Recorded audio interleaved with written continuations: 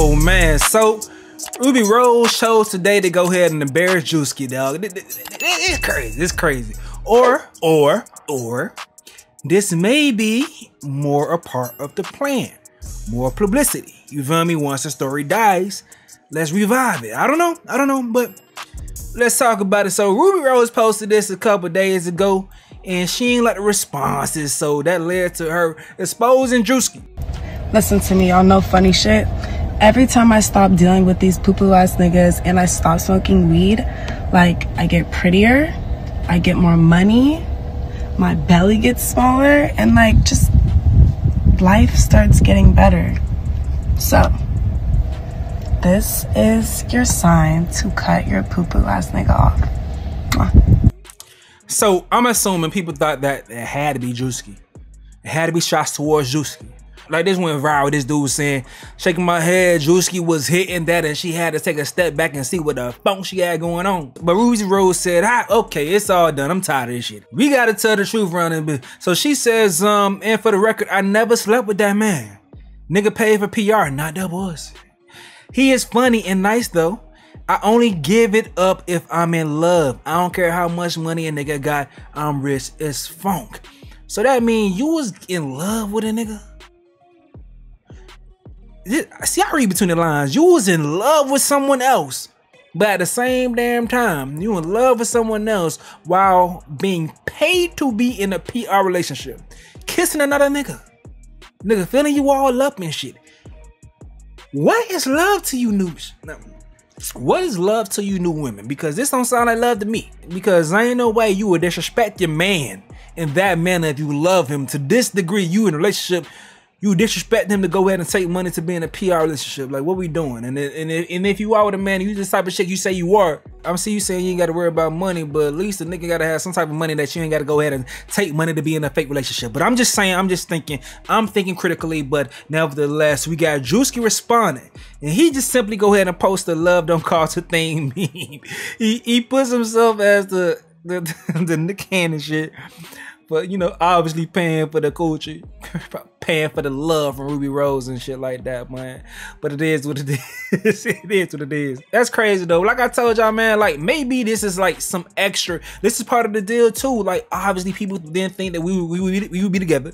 So eventually you can come out and say wasn't together, and that's okay because any story is a good story, especially if I could flip it and make it something funny. It is what it is. The man still got some kids, still got a rub on the titties, and he probably probably got some extra culture too because y'all know how women get. When women see you in a relationship, a happy relationship with a bad chick that, you know, someone who people perceive to be a bad chick, women be like, oh, so whatever you doing for her has granted you the permission to be able to get a her. The lady probably already comparing herself to her. So they're like, hmm, let me compete for her position. And then they go ahead and start giving her the coaching or whatever else attention necessary to go ahead and try to compete for that position that they may have thought that Rubi Rose is in. So it probably worked out for him. So this, this time being, this little space, Chish probably came to him like, shoot, well, huh, you know, deal with me. You never know. It may have worked out for it, but hey, here we are now. Let's look at some reactions though. Do say great response because he definitely gave her more clout than she provided him. He never said anything about about her. She should have kept it to herself. PR or not, he helped her too. He has more emotion than her right now. I would not want to go back and forth with a comedian. What was the cause of her saying this? That man ain't the ish to her. She thought she ate with them tweets. All right, let's wrap this up, Max and Ruby. I'm trying to get back to the Diddler files. oh man, don't ever flex on nobody that was nice to you. They're the ones you want to keep around. She should have added an NDA in her contract.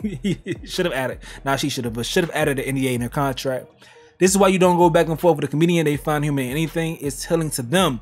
I promise Druski not the one to pick an internet beef with, battle with.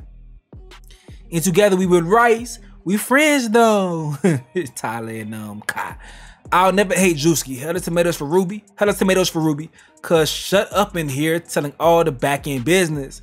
She definitely liked them. Had sis wearing no makeup and cooking for him. That was love for real. Okay, you you don't be gullible. That's if anything y'all see, like the best relationships, you're not gonna see the shit, dog. because it's natural. You don't want validation to help you like validate the relationship that you in.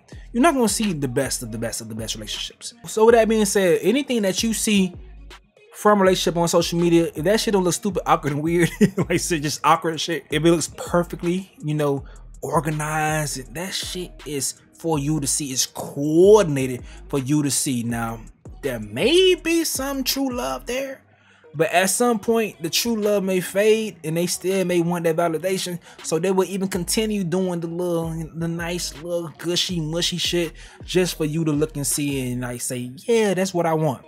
Because at some point that brings in more money and attention for them. So the, the relationship has different incentives other than just the love receiving a person. The incentives that comes in from the audience that views it, that becomes a thing. Sometimes it becomes more you know, appealing than the actual incentives that you that you receive from the actual relationship.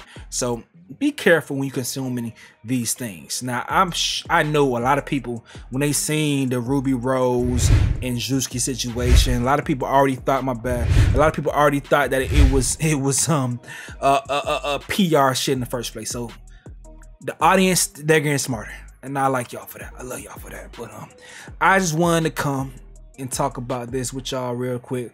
Cause it's an interesting situation. We be covering certain things, but shout out to Druski, shout out to Rubi Rose.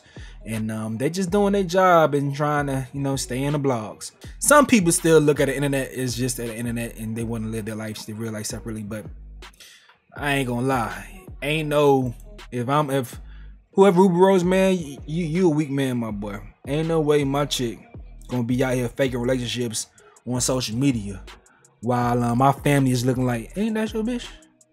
Kissing Druski? And yeah, nah, bro, she she getting paid for that. What what supposed to be like a movie or some shit? a real life movie. I guess that's the way to flip it. It's like a real life movie, bro. Like it, it, ain't really like it ain't real. You feel me? I mean, I know, I know, I know she kissing him for real, but then like real, you know, she getting paid like how actors get paid. You feel me? It's like like social media, like reality TV. You know, reality TV is scripted and shit. That's how I imagine that conversation got to be, because it is true. If you guys don't understand, social media is an, is an extension of reality TV nowadays. You see things happen reality TV, they take it over and continue with the storylines on social media because that builds the beefs and back and forth and they put it on a screen or whatever whatever to sell the relationship or the beefs whatever it's just an extension. So things are changing and you know the audience i just want y'all to be more aware of what you're consuming.